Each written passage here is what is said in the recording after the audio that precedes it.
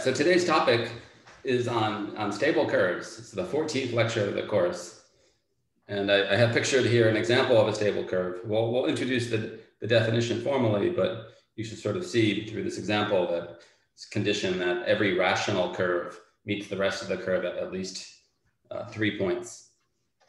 And note that we, we we're like writing these numbers here to indicate the sort of the geometric genus of the, of the components and we had this nice formula last time to compute the, the like the arithmetic genus of the total curve using, but, but you just take the sum of, of the geometric genus of the components and then you add sort of the number of, of connected components bounded by this graph. And you, in this example, you get 14. Right, but before we can introduce stable curves, I want to give a, a quick refresher on our definitions. So let's just review properties of nodes. So last time we introduced, so yeah, here C is a curve over a field. And in the, in the case when it's algebraically closed,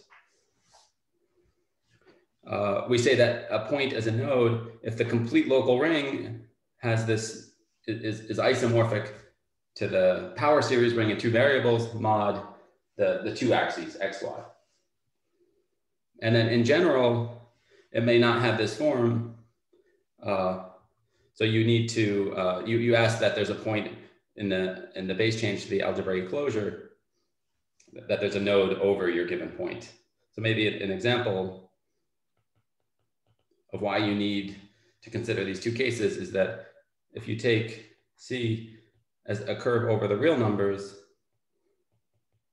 and you say mod out by x squared plus y squared. This is irreducible over R, but not over C. And so it's, it's a node. And we see like after the base change, the node becomes what you might say split, i.e. the, the completion is, is, is isomorphic to this power series ring. And then, uh, yeah, and then we say a curve is nodal if all points are either smooth or nodal. Or nodal. Any questions on that? Right, and then the, the main result we had last time uh, is this is this local structure theorem, uh, which tells you not not just how nodes look like in in a, in a curve over a field, but also what they look like in families. So we, we have a sort of a general setup that we're considering just a morphism that's flat and finitely presented, where every fiber is, is, uh, is a curve. And then if you have an, a, a, point, which is a node in the fiber, and in particular, that means that the, the that the, uh, the fiber is reduced at that point, then, then, there, then étale locally, you, you, uh, you have such this, a, a diagram. And I have a little. Maybe to, was there a question? I have a little question, which is uh, so when away from a node, this power series ring is just in one variable. Is that like this completion is just the power series in one variable? Exactly. Yes. Just checking. Thanks. Yeah. Yeah, that, yeah, that, that's an important point. That for a smooth, so yeah, for a smooth point, the the, the complete local ring is a power series ring in, in one variable. Right, and let's just let's just spell out what this tells us in, in, in the case that the base is a field. Then this theorem implies that there exists. So an étale extension of a field is a, a finite separable field extension. And there's a, a point P prime in the base change uh, such that the complete local ring, in this case, of P prime is isomorphic to the power series ring. And this was sort of a stepping stone of how we how we prove this theorem as well. We went from like understanding what the completion looked like in the fiber to the completion looked like in, in the entire family. Uh, and the, the basic example to keep in mind of what the structure theorem looks like for now in, the, in the relative setting. so for it is perhaps this example where you take x, y, uh, and t over t. So here, here you, you're, you have a one-dimensional family where when t is zero, the fiber just looks like the union of the two axes, but, but away from that, it looks like the hyperbolas, which are smooth. And what, what the theorem says essentially is that every deformation of a node étale locally looks like this uh, is the pullback of this example. Namely that there is, so maybe, yeah, let me just replace this K with a Z so that we can really work in mixed characteristic. So what it says is then that there's uh, a morphism from spec A to here, and then T pulls back to some function F, and then the base change is this spec A, X, Y, X, Y minus F. And so étale locally, your curve C looks like, looks like this particularly nice form.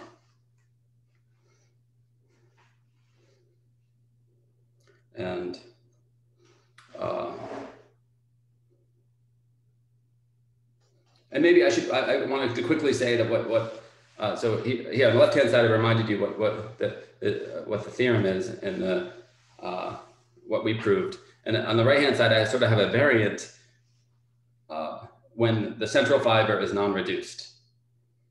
So, and so even if the central fiber is non-reduced, but suppo let's suppose that your point in the reduction is nodal, uh, then there's a similar sort of structure result. And I'm going to use this later, which is why I'm stating it.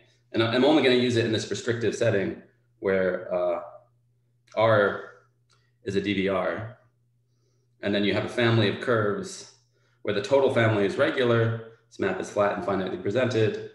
And, and so like we have these two different cases of whether if the point is smooth, then it essentially just looks, looks like a thickened affine line Uh, and then when, when it's a node, then you, you, you're you, basically you can have exponents A and B inside here. So that it's like the central fiber is just, yeah, it's a union of thickened axes, perhaps with different weights.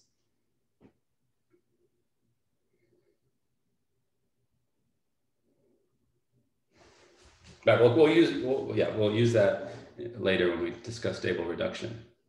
Um, but maybe I should say one of the applications of this result for us is, is as follows.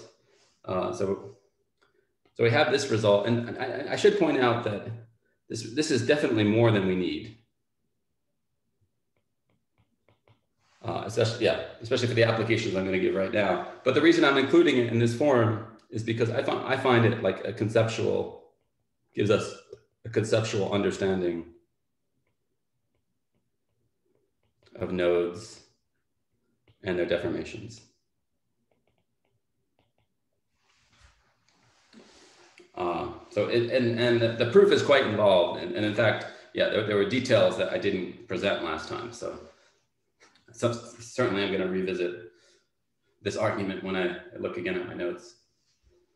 But I did want to spell out these two, two like nice applications of this.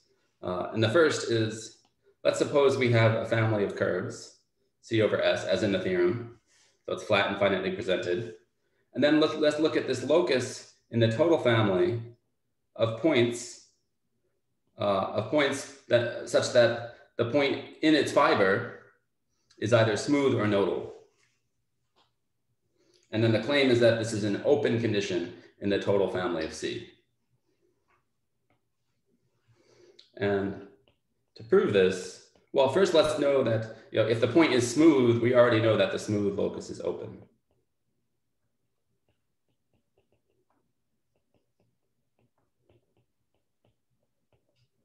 And, and so let's handle the case that if P is um, a node in the fiber. So here S is pi of P. Pi is the structure map. Then what this theorem gives us is this nice étale, étale diagram up, up here. And, it, so let, us let this morphism from U to C be, uh, be called G. And then, then you just take, then, then we've sort of arranged that this point is in, because G is étale, if I take G of U, this is an open set inside C node.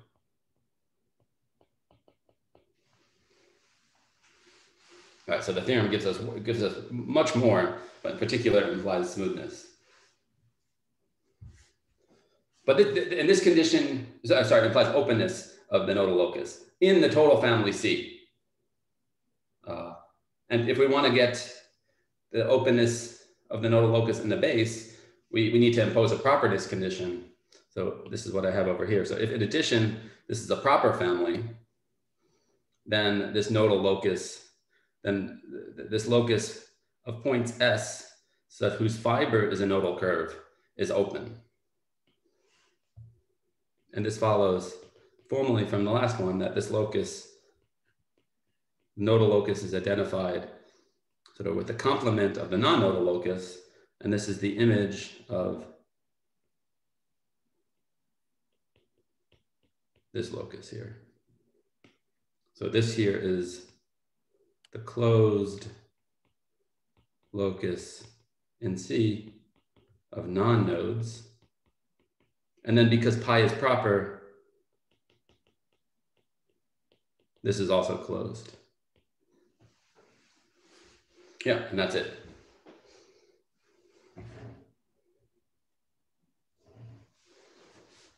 And, and the reason we like this kind of this result is because the, at least this last corollary allows us to apply it to the, to the moduli setting.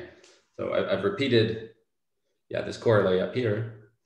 Nodal locus in the base is open.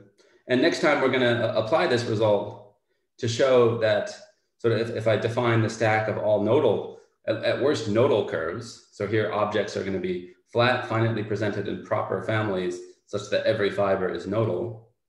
We're gonna uh, we're gonna use this to get that, yeah, to, to argue that the stack this stack is algebraic. But but there's problems with looking at all nodal curves even though it forms an algebraic stack, uh, it's not separated.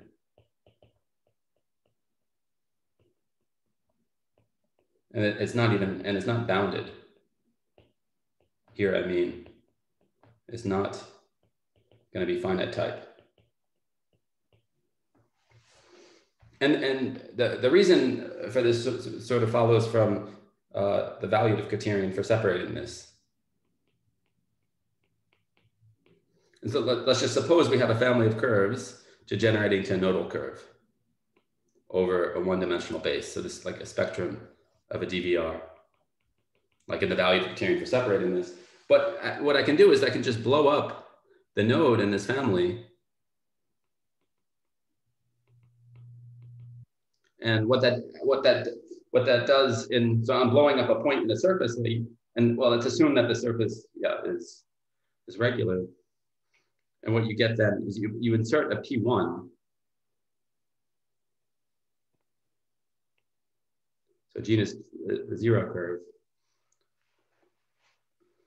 And so you, what we've what we've constructed is another way to fill in that family of smooth curves over the origin with a different nodal curve.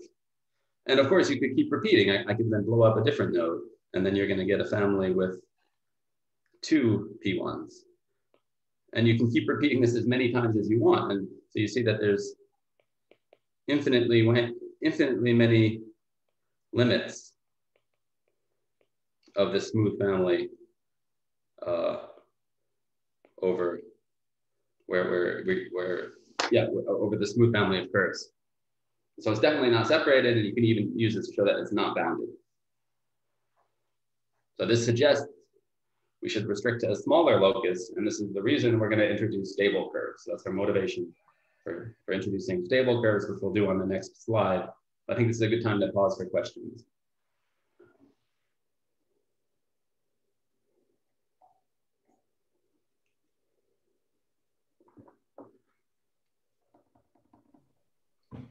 On the previous slide, um, or I guess on, on this slide even, uh, in the corollary, do you have a, a quick example where um, where I, I, guess pi is not proper, and then we end up with the nodal locus in the base uh, not being open?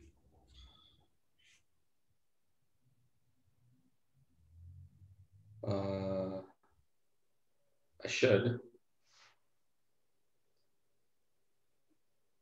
Wait. Uh,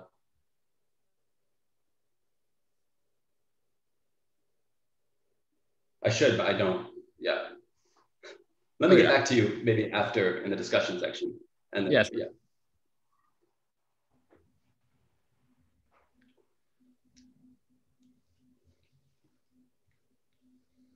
Okay, so let me introduce stable curves now.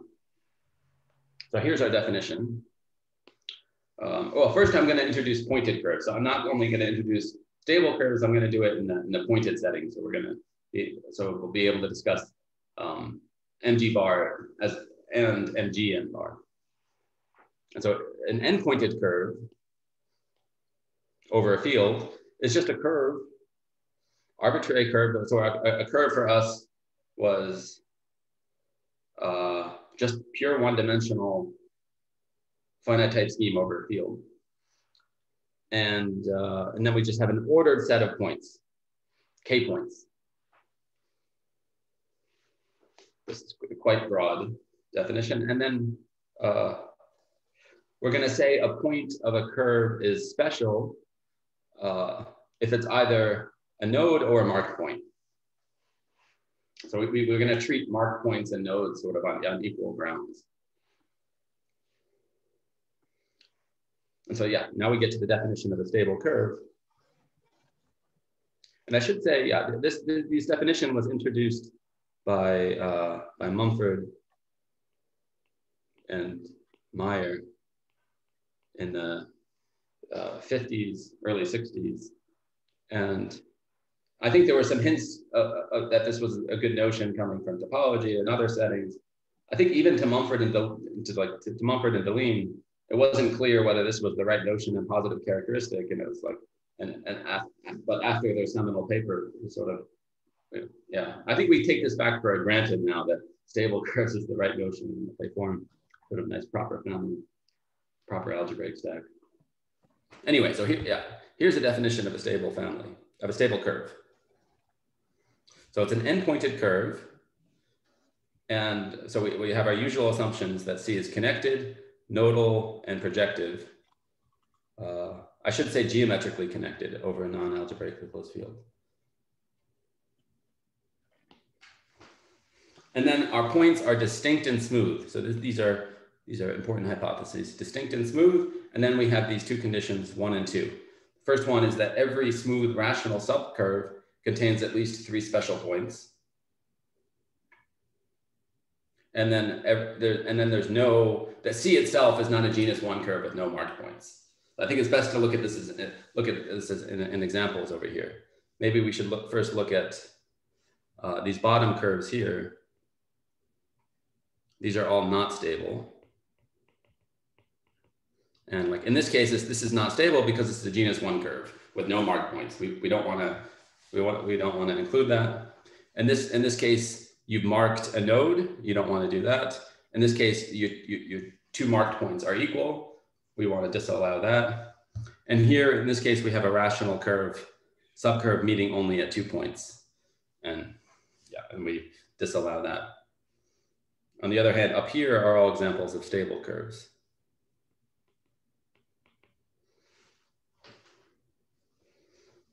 And in these diagrams, I, I, usually, I only put the, the geometric genus zero if it's like, if it's to, to remember that it's a rational subcurve.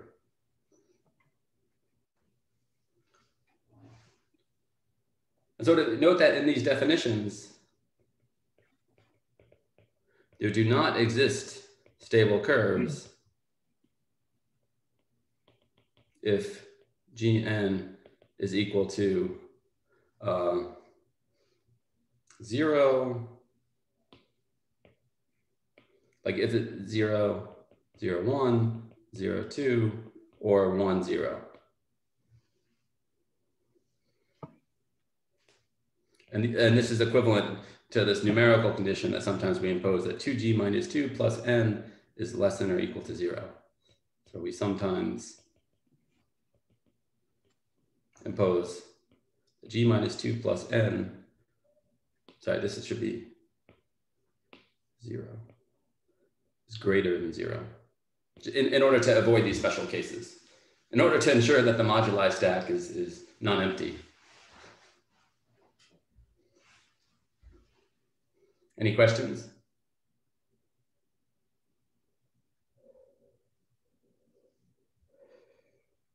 Yeah, so this is one of the, the critical de definitions for the remainder of the course. And my goal today is to, to motivate this definition and show that it has some nice properties.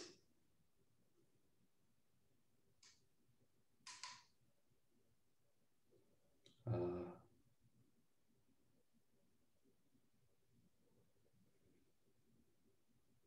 but let, let, me just explain first some variants on this. So here, here I've defined stable. I can also define semi-stable uh, where I replace the, the number three with two in condition one.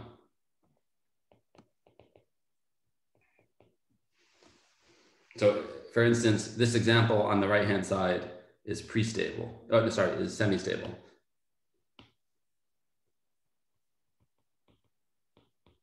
And then you can also call uh, a pre-stable curve where you just drop one and two entirely. So, so it's essentially, it's just an end, it's just a nodal, it's just a proper connected nodal curve with distinct and smooth points.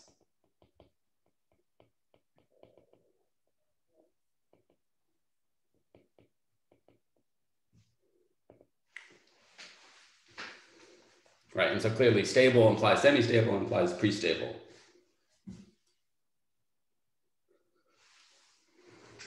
Okay, so eh, the, the first property I want to show is that the, that being stable is well behaved with respect to the pointed normalization of the curve. So let's start with, let's just take, uh, here, let's take C to be an n-pointed pre-stable curve over a field. So again, that, that just, that, that means already that the points PI are distinct and smooth in C. And then we take the pointed normalization C tilde uh, and uh, yeah, and no, note that, you know, since PI is smooth, its pre-image uh, under the normalization is a unique, there's a unique point. And let's let the pre-image of the singular locus be denoted like this. So these are, these are all the points in C tilde over nodes. And, and, uh, and the first exercise that I suggest is to show that C is stable, or yeah, the C is stable if and only if every connected component of the pointed normalization is stable.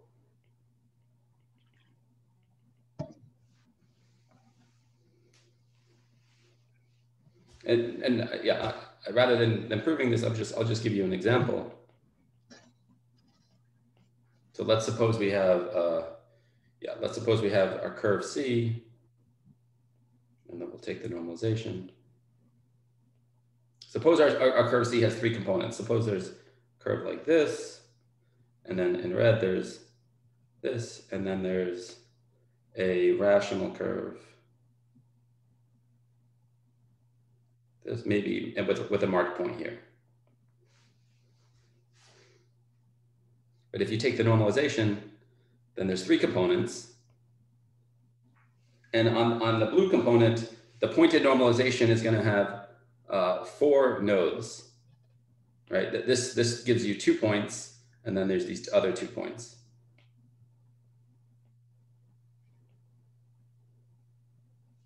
Uh, I could even, uh, let's just assume this is his genus four, this is genus two.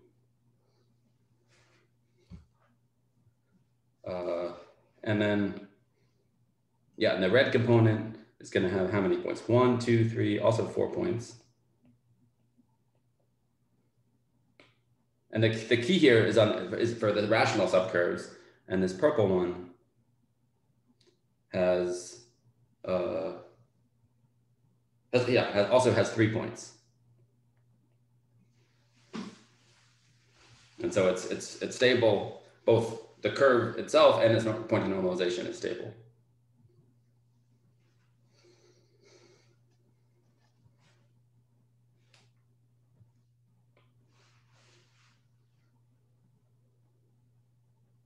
All right, and uh, and so we're gonna we, we're after sort of an equivalent characterization of stability for pointed curves, and what, one of the facts we're going to rely on is the following property for smooth curves. The only smooth n-pointed curves uh, C P1 to Pn with the automorphism group uh, infinite are are the following. Well, first I should tell you, yeah, in, in the pointed case, what do I mean here? This parameter has automorphisms of C with such that uh, that preserve the points.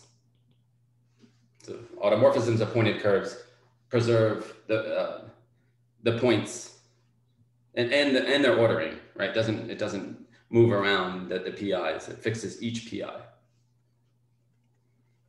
And so the only curves with positive dimensional with uh, with infinite automorphism groups are either P1, where n can be 0, 1, or 2, or C is uh, a genus 1 curve. And n equals zero.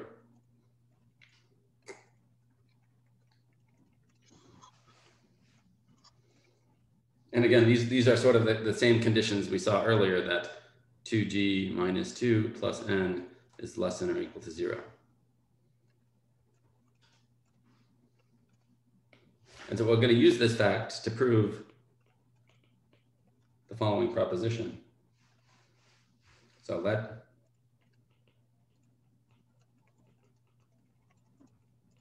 an n-pointed curve. Uh, n-pointed, yeah, uh, pre-stable curve.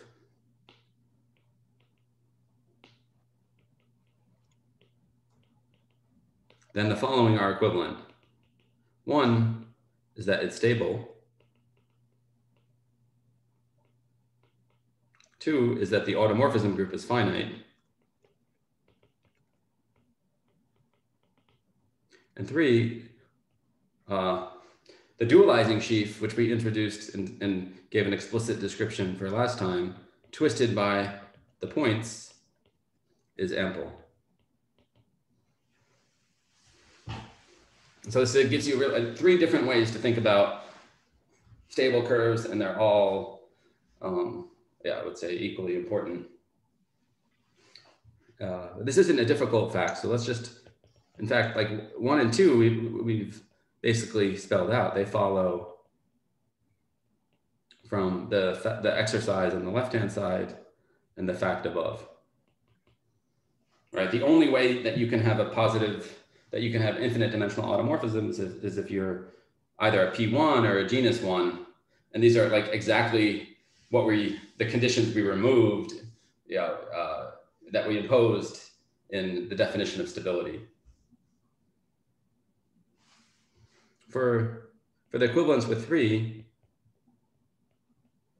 we need to use uh, one property of the dualizing sheaf that I didn't mention last time.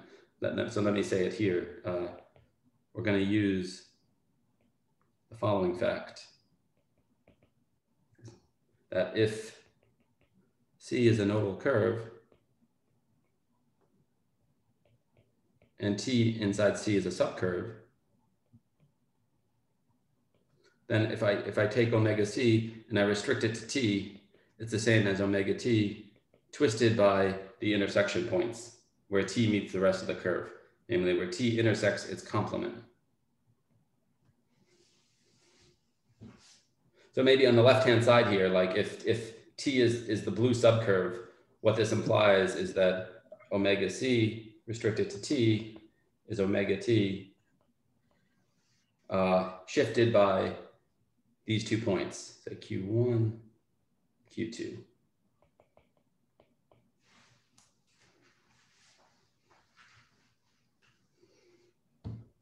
Right, and so I'm going to now use this fact. So therefore, so uh, let's understand when is this when is this line bundle ample? Well, the normalization is a finite morphism. So this is the same as the pullback being ample.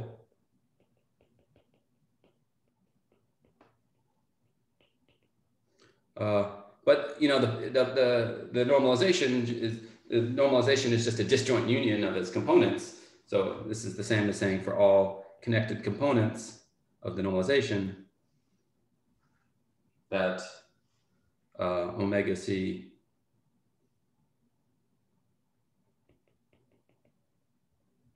restricted to t should be equal to uh, omega t. Well, by, by this formula, this is the same as omega t. And now I only need to remember, I should only remember the points on t.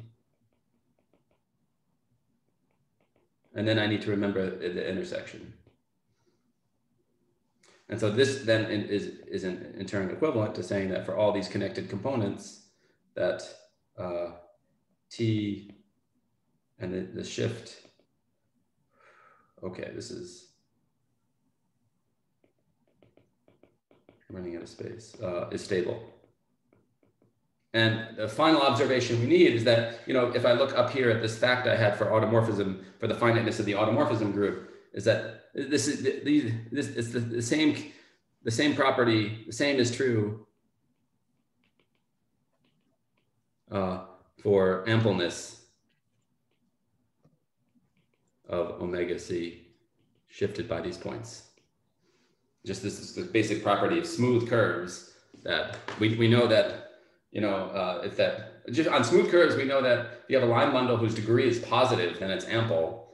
And so this just boils down to a numerical condition because we, we know the degree of the dualizing sheaf is 2g minus 2. You twist by point these points n. And so the only way that cannot be ample is either if the curve is p1 with two or less marked points or genus 1, in which case the dualizing sheaf is trivial.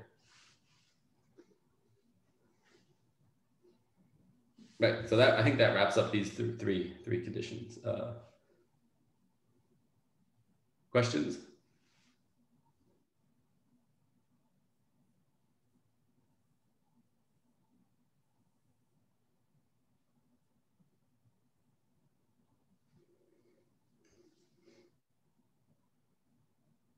Yeah, if you're interested in higher dimensional geometry, I think it's like uh, every aspect of when you try to define moduli of higher dimensional uh, varieties, there's there are there are issues, and so I, I think you should, yeah, and sort of de define like yeah, defining in defining stable families and defining dualizing sheets and there's a, uh, yeah there's a lot of issues. The case, the case of smooth uh, of curves is sort of the nicest where yeah where yeah and we have really three nice way to three ways to think about stability.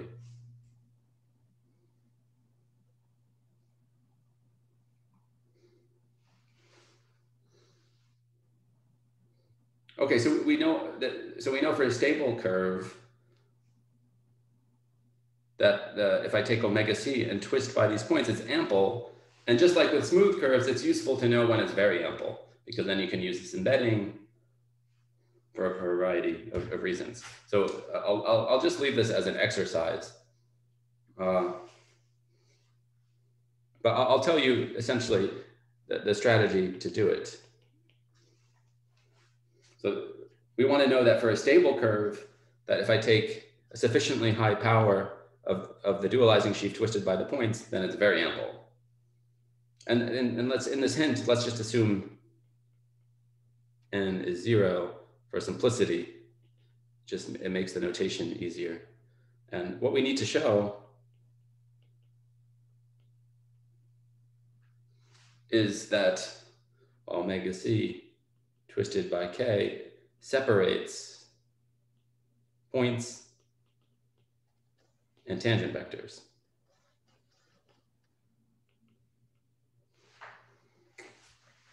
So that is, you know, if, if you just spell out what this means, to separate points, you need to you need for all points x and y of C, you need that there's enough global sections of omega C twisted by K so that this projects onto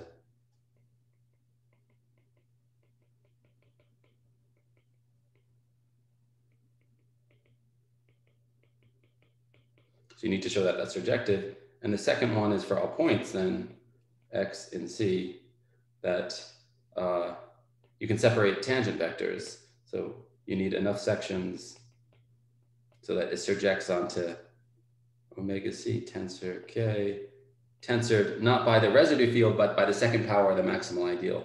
So OC mod second power of the maximal ideal. Whoops, that should be x.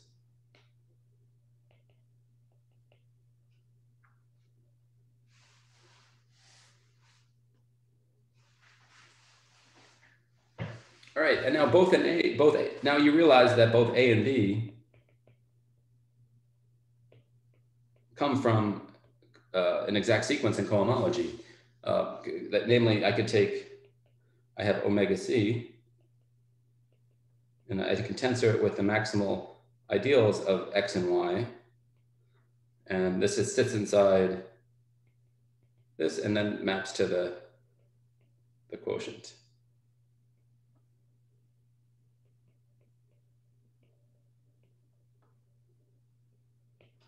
And A and B are A and B are uh, come are, are come, from the yeah the, the, the, global sections of this. So you see that it suffices, right? We, we need to show that H H zero of this is surjective.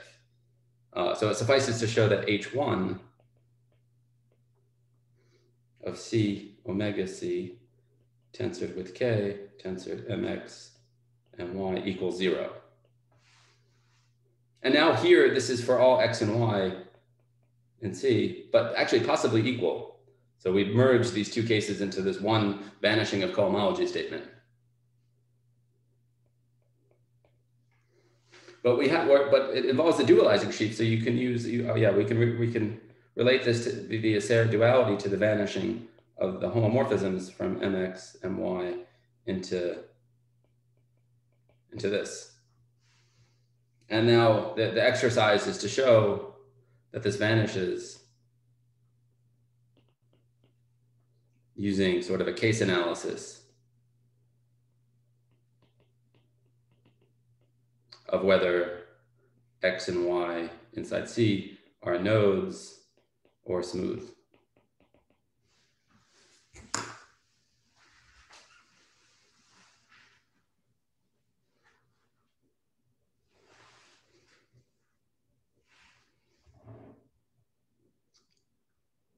I think my next topic, I'm going to move on to like families of stable curves. So it's a good time for, for questions or comments if you have any.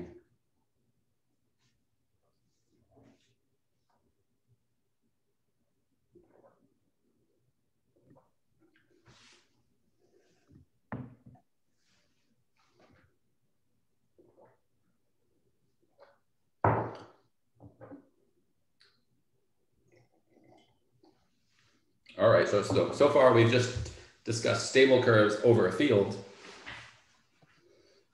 Let's now move on to families of stable curves. So I've saved time by writing the definition here. And here, so last time I discussed nodal curves and we even had results about families of nodal curves, but I didn't, I didn't define what a family of nodal curves. And in the literature, when people use the word family, you should uh, you should really ask exactly, you, you should look to see what exactly what they mean. I mean, a family should always mean flat, but then whether you include it to be proper uh, is, yeah, is uh, up to you. So, but for us, it, it will include it. So for us, a family of n-pointed nodal curves is going to be a flat, proper, and finitely presented morphism of schemes such that every geometric point, oh, together with n sections, such that every geometric fiber is a reduced connected nodal curve. No, I have no conditions on whether these sections intersect or, or whether they land in the smooth locus. So this is not, a, yeah, it's not, the fibers are not necessarily the pre-stable curves that I defined. But now for, for stable curves, we impose, we just, yeah, a family of n-pointed stable curves is simply a family of nodal curves such that every geometric fiber is stable. So that ensures that the sections are disjoint, that they land in the smooth locus, and that every fiber is, is, sta is stable. And we can give the same definitions if we want for, uh, for semi-stable and pre-stable. But now that we have this definition, we can define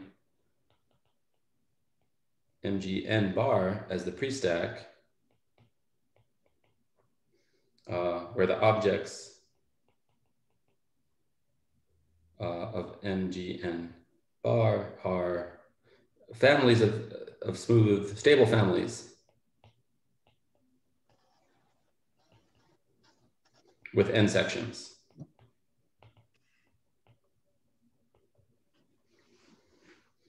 Stable families, yeah, and stable and pointed families. And right, this is the stack over, yeah, the category of schemes, right? And this, this object lives over the scheme S. And morphisms are equal to Cartesian diagrams preserving the section.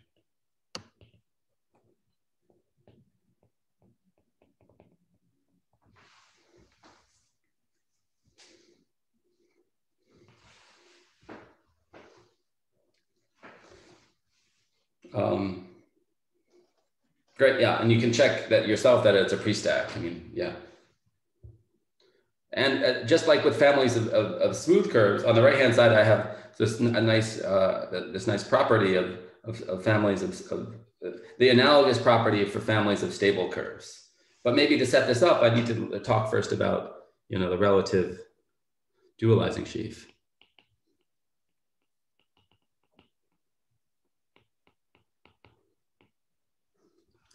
And, uh, and so here we just use this, this, yeah, there's this fact. Depends what you want to use here. Uh, but if, if you have a pre-stable family,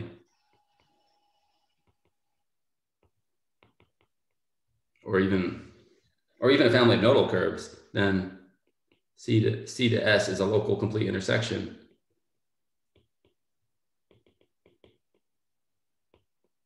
And this just this implies that there exists a relative dualizing sheaf.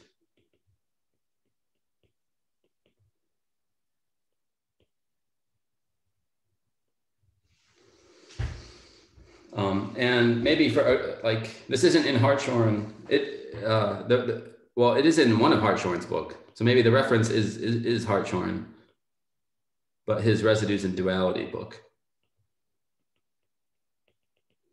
Uh, but in a more elementary way, it, it is in the, the introductory text by, by Liu on, on algebraic geometry and arithmetic curves.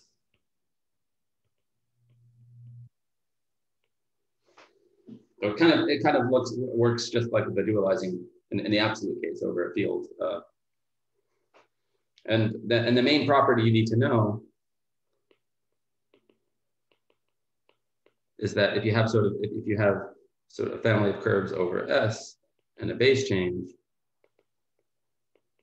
then if I take the relative dualizing sheaf and I restrict it, and I pull it back to CT, it's, it's, it's isomorphic to the relative dualizing sheaf. In particular, you know, if I take the relative dualizing sheaf and I restrict it to a fiber, then I get the relative dualizing sheaf of that fiber. Ooh, okay. So yeah, uh, I won't really say much more about this existence or properties. That's a whole you know other topic. but I will, yeah, I will mention the following, the, the proposition that's written there, that is, is that the relative dualizing sheaf um, is, uh, so yeah, so let me, let me walk you through this. I have a family of n-pointed stable curves of genus G, and then I take, I take the line bundle, which is the twist of the relative dualizing sheaf by the sections, and because we're assuming the sections land in the smooth locus, you know, this forms the divisor. So, I, so this, yeah, this is legitimate. Then, yeah, and then since k is greater than equal to three, if, if k is greater than equal to three, then the statement is that this is relatively very ample. And, uh, and moreover, that the push forward is a vector bundle of a given length. And in fact, you know, the reason this is true is the same reason, we, the same way we prove this for smooth curves. Like this, the, for the relative very ampleness, this condition can be checked on fibers. And that's what we proved on the last slide. To get that, the push forward as a vector bundle here, you, you use, I mean, this is a standard application of cohomology base change.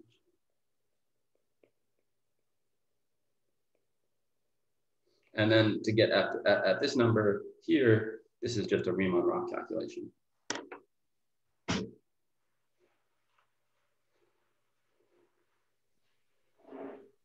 So can I ask you something?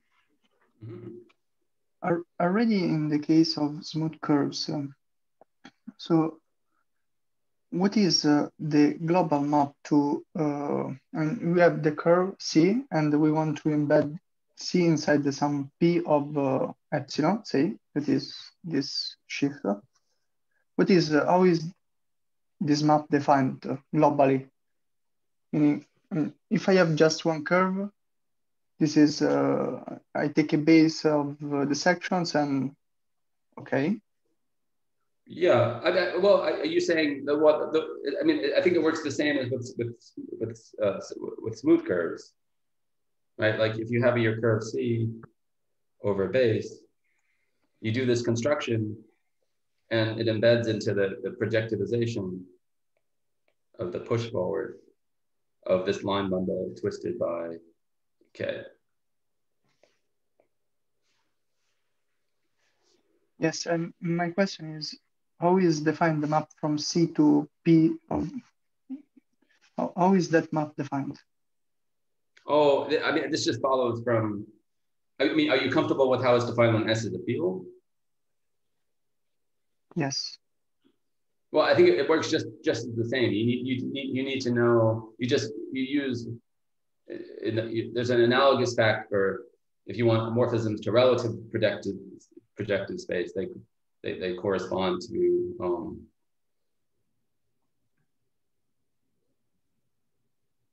yeah yeah the, uh, yeah you, there's a functorial description of this relative projective space and yeah uh, I don't want to get into it right now but yeah it it, it, follows in a similar way that uh, yeah, as, as if S is just a, a point.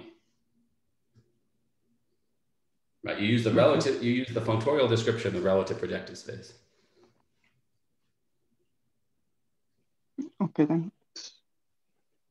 Yeah, I'm not, I don't want to go into all the details right now because it would be a, yeah, a bit of a detour.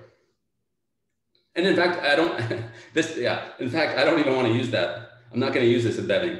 You know, I, maybe maybe you were sort of ahead of the game and you're suggesting, you know, like the way we proved that MG was an algebraic stack was using these uh, this this property of families to to embed MG into to, to, express MG as a quotient stack of a certain Hilbert scheme mod mod a, a PGLN. We could do the same for MG bar or in, and MG n bar, but we're gonna proceed by a, a different method.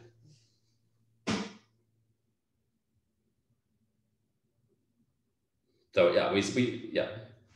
Um, and in fact, the way we're gonna the way we're gonna do it is we're gonna show that the entire stack of curves is algebraic, and then what we need to know is that the nodal locus is open.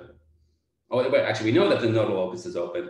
We, we need the refinement that the stable locus within the nodal locus is open, and that's what I want to get to next.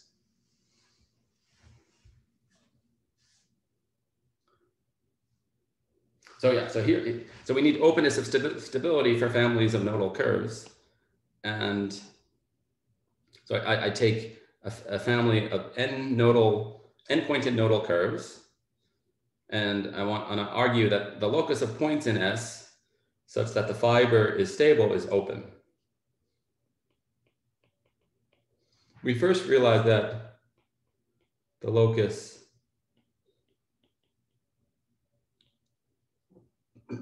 where these points are distinct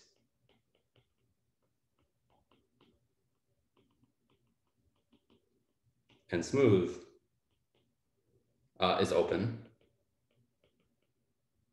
So in other, this, this allows us to assume that C to S together with the sections is pre-stable.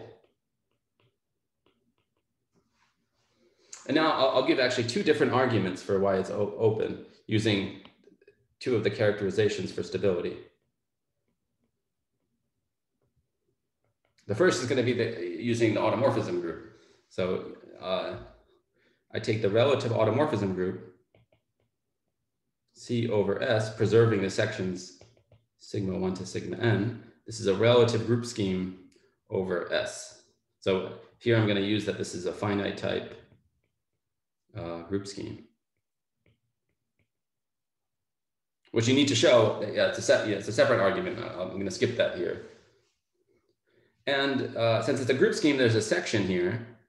So the normal semi-continuity arguments actually imply that if, if, if you look at the function from just the set S to Z, that takes a point to the dimension of the automorphism group of that fiber.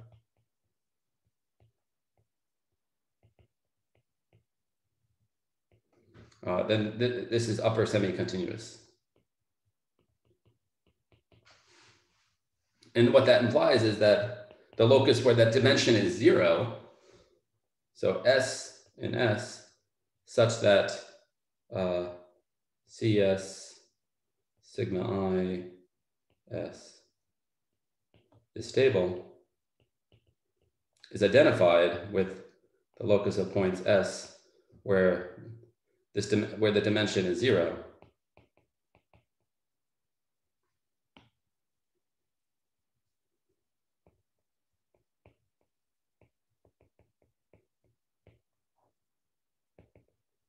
And, th and therefore this is, uh, therefore it's open.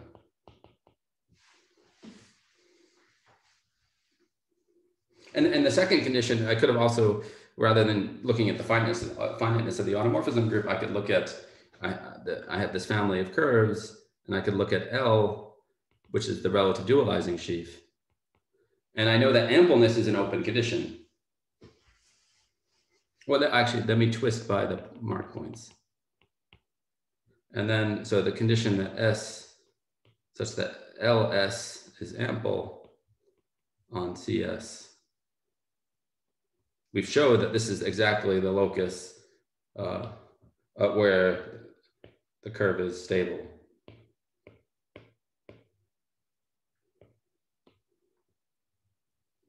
Uh, and so again, we get that it's open.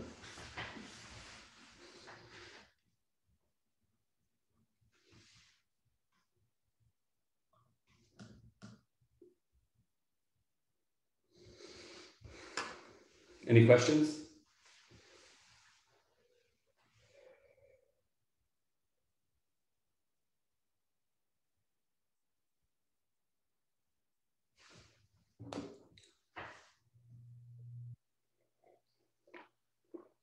I think I'm actually doing well for time today. I have one more topic.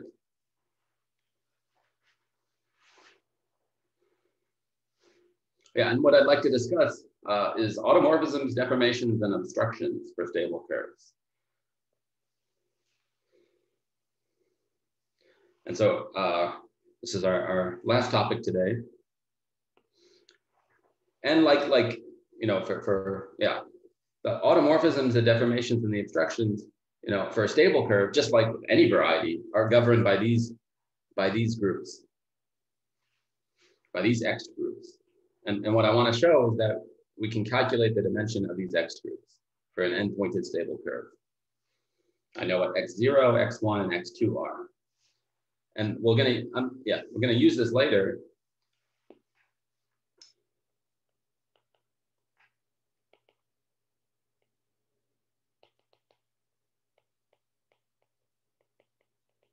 We're gonna apply this uh, because if x, x0 being zero implies that there's no infinitesimal automorphisms, we already know that the automorphism groups are finite, but this tells us that they're even non-reduced. And that, that, that was the condition that's going to allow us to conclude that MGN bar is, is DM.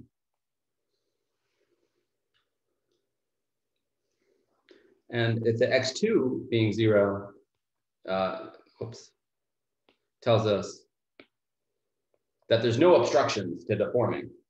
And uh, I'll, I'll, spell it, I will spell it again. When we actually apply this, I'll, I'll spell this out more precisely. This implies via the formal lifting criterion for smoothness that MGN bar is smooth.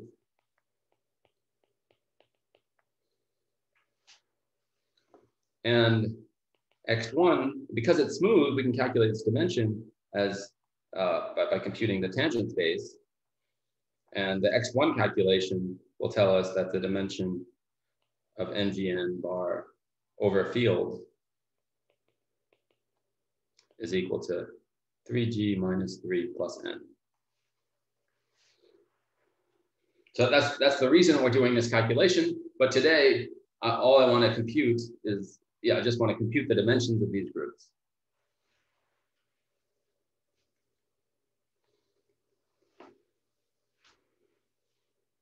And I'm gonna I'm gonna do it again just for simplicity. I'm gonna make the assumption that n that yeah just because I don't want to keep writing all the mark points. I'm gonna take n equals zero.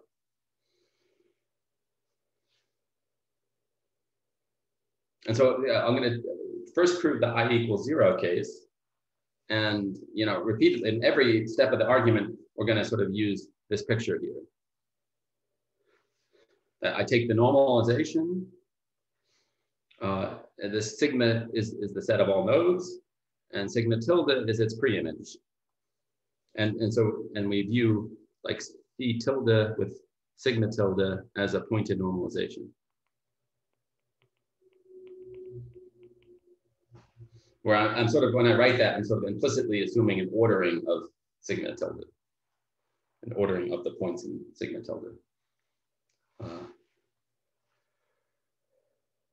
Right, so that so what we need is the claim here. We need to identify, the claim is that, uh, that, there's an identification that homomorphisms from big omega c into OC are the same as homomorphisms from the, uh, the twisted sheaf of differentials to OC tilde. In other words, you know, what this says is that regular vector fields on C are identified with regular vector fields on C tilde vanishing at pre-images of nodes. Um, but um, it, you and you, you can you can show this directly just using properties of the sheaf of differentials and how they behave under you know push forward and pull back under the normalization map. Uh, but I, am going to I'm going to skip the calculation here. I'm going to skip the claim, skip the proof of the claim, and just tell you how we use the claim. So the claim implies the following: that if um, oh that sense. So what? So yeah, one of the critical hypotheses here is that we're starting with an n-pointed stable curve. And by that exercise, we know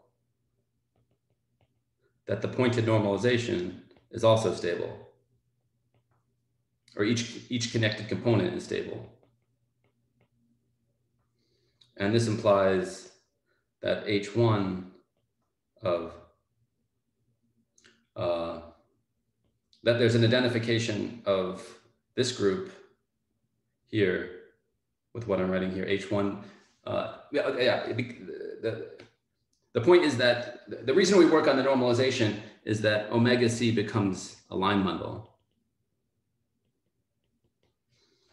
And in particular, then I could take it to the other side. And so this is identified with H0 of T C tilde twisted by negative tilde. And this is zero because it's because the degree of this is because it's stable, the numerics in, imply that the degree of this is less than zero.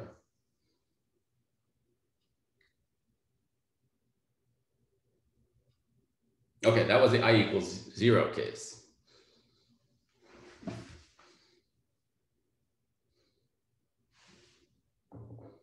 Okay, we're gonna jump to i equals two and then and then move to i equals one.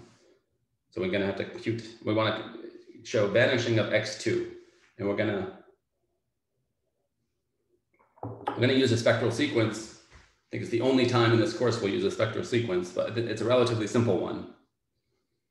So so we're going to use the following local to global spectral sequence of Ext and, and, and the Sheafy Ext. Sorry, can, yes. can I interrupt you? Is there some assumption on G? Because for instance, uh, uh, if I take uh, C to be smooth, for instance, think P1, uh-huh. is that zero? Well, no, uh, there's no condition on G only, but the condition is that the curve, the pointed curve is stable. I see, I see. Okay, sorry, yes. So yeah, yeah, like if you do this calculation, that the same thing won't hold for just P1 with no marked points. Yes, thank you, sorry.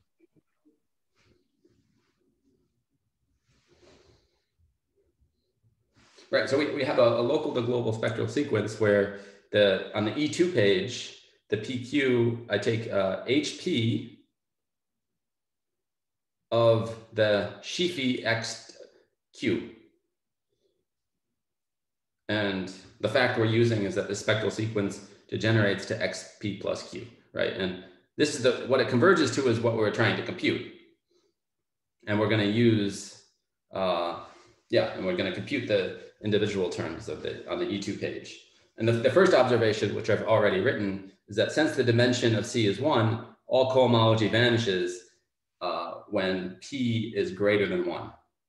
So E2PQ is zero when P is greater than one. So I've drawn this, yeah, the spectral sequence here. So we have vanishing to the right. This is all zero. And I think if I get the arrows right, I think that the maps go down to the right. Um, and Oh, and actually, we all we, we already know that this group here is zero. We've computed that, and and to compute i, but to compute i equals two, the relevant information is on these two terms, right? This is the interesting stuff when i equals two, because these give you the factors of the filtration of of the of the Ext2, uh, essentially. Right, and so let's let's see if we can compute them. Let's first look at E2 1 comma 1. That's H1 of C of Sheafy Ext 1 of omega C OC. Okay, and, and I actually claim, I claim that this thing is, is has dimension zero support. Uh, because, well, yeah, because First of all, omega C is a line bundle away from the nodes. And so therefore, like if, if I take C in Z and, and, and this, this, this fact that if I take, this is a sheaf on C, if I localize the Ext sheaf at Z, it's the same as computing the local Ext groups.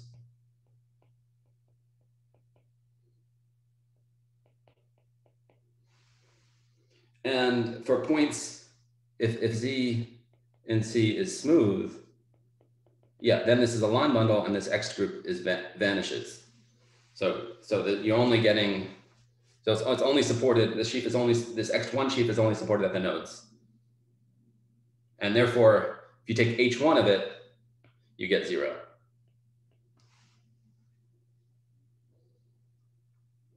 Okay, now we need to look at E21. Uh, now, now we need to, to compute E220. And we're going to use the fact that, yeah, since C is a curve, uh, and, and nodal, it's a local complete intersection. And this implies that there exists a locally free resolution, uh, maybe like this of the sheaf of differentials on C. Maybe I should say explicitly, what you can do is like if you have a point P in C, which is, uh, what you can find an open subset of C uh, and an embedding into side AN defined by an ideal sheaf I, and then you have that omega on U is surjected by the restriction and its kernel is exactly I mod I squared. Or if you prefer, you can even do this calculation formally locally, and then you can use the fact that we know exactly what the, the, the formal local ring is at a node, and you can just compute the relative sheaf of, of differentials of the structure sheaf of that, uh, yeah, of the, that complete local ring.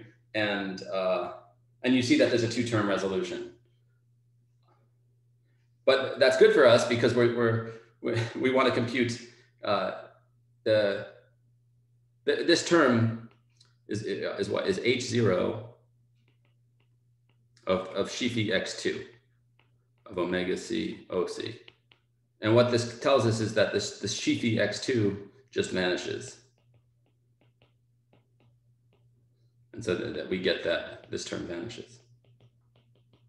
And altogether, this is implying that Ext2 omega C OC is zero.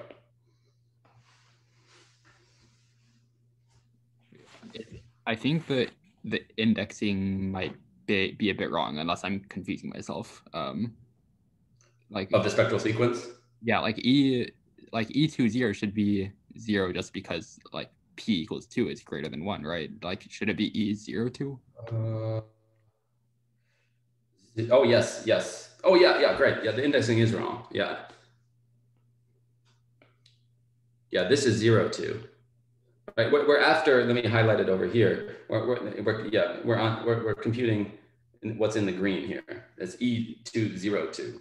And so this right. is also, I think that was the only mistake, right? In the indexing. Oh, yeah, yeah, I think that's right then. Okay, yeah, it makes sense. Thank you, Grant. All right, one calculation left. It's the I equals one page. And uh, but let, let, so we for the i equals one, maybe I'll highlight it in purple. Is, is are these two guys? So this is what we need to understand with i equals one. In fact, they're both going to be non-zero. But we what we can use is that you know the low degree terms of the of the spectral sequence gives us gives us a, a nice exact sequence. Namely, it gives us gives us the following. So what that spectral sequence gives us is, is an exact sequence like this, what's written out. Um, and let me just like write down explicitly what this one is. This is the H1 of the Sheafy Ext0 or of the Hom. Uh, this is H0 of Sheafy Ext1. Okay, and so let's understand this yeah, sort of term by term. Oh, we also know that this guy, that the term on the right vanishes. This is zero. And on that last page, we also showed that this sheaf here has dimension zero support. And since you're taking global sections, that's the same as taking global sections. I could just take the, the product over all the nodes so I'm, I'm carrying, yeah, up in the top right corner, I sort of recall the, the basic setup. Uh, the sigma is the set of nodes, sigma tilde is its preimage in the normalization. So when if z is a node, uh, yeah, this is exactly the H0 of Ext. This is just Ext1 of omega C Z localized at Z. Are you with me so far? And so, yeah, this is uh, the, the local Ext calculation, but I could, if I want, I could also complete this. This is, I, there's an identification like, like this as well. And this completed sheaf of differentials is equal to the sheaf of differentials of the completion.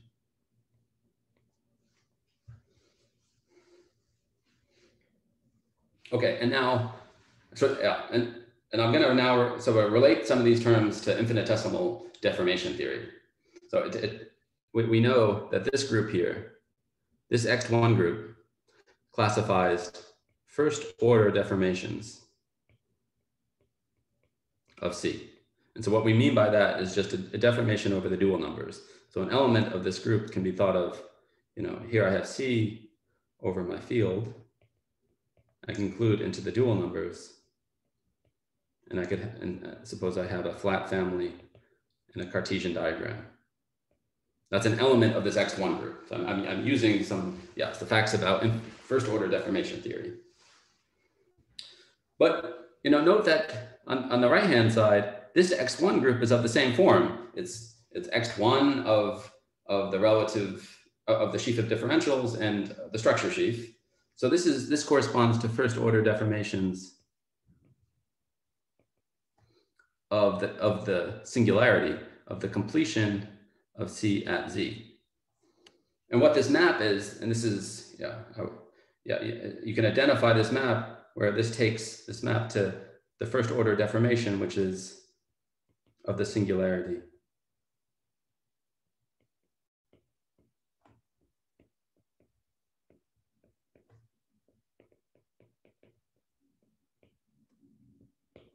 Uh, where now I, now I complete the total family of C of script C at Z. Great. Okay, now, so I have a short exact sequence and I have this interpretation in terms of deformations. And so that allows me to think about this kernel uh, on the right-hand side here. I can identify that with first order deformations. So this is first order deformations of C that preserve the node.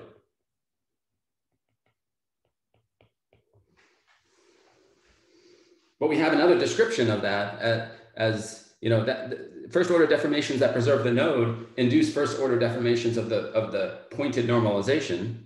So this is equal to first order defs of the pointed normalization, which is identified with, with Ext1 of, uh -oh, let me write it here.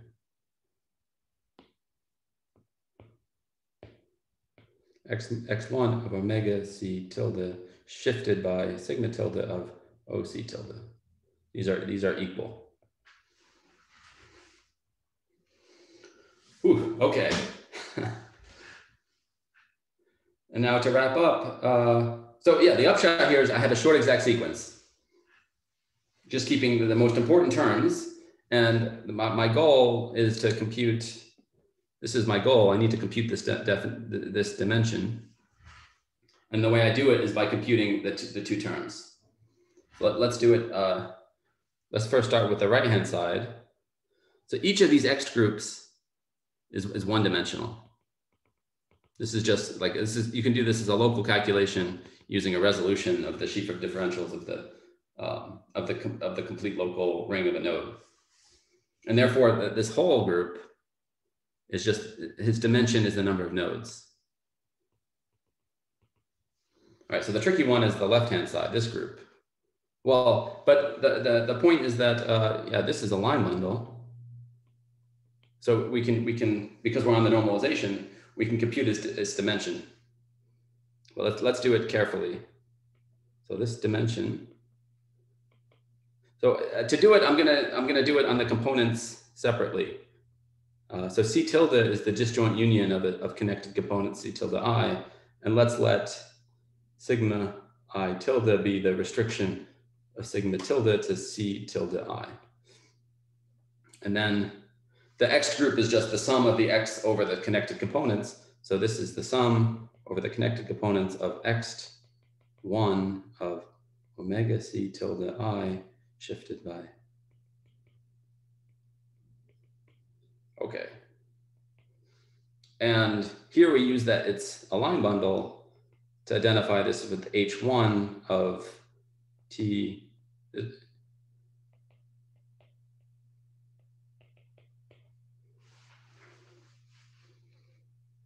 Right, and now I could use Serre duality. Okay, there's several ways to do this calculation. I'm just choosing, yeah, this path. It's not necessarily the most, yeah, the minimum number of steps. But if I use Serre duality on this H1, then this is H0 of omega C tilde I tensor 2 shifted by sigma tilde I. I mean, I could have just applied Serre duality to the Ext1 if I wanted.